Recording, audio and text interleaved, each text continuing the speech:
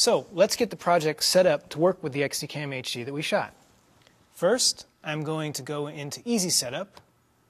This is in Final Cut Pro 6. This is a nice little added feature. I can actually sort all of my Easy setups by format. So I'm going to switch over to Sony XDCAM HD. And I'm going to look up here and I'm seeing that I have the option to set everything up for XDCAM HD 1080p 24 in VBR. Now, what is VBR and CBR? VBR and CBR are two different shooting modes. VBR stands for variable bit rate, and all that means is that if the image is more complex, more data will be thrown at it. If it's less complex, like a still shot of someone standing in front of a wall without much movement, there'll be less data. And as a result, you can wind up with the identical amount of image quality while potentially winding up with a smaller file. Therefore, more footage will fit on a disk.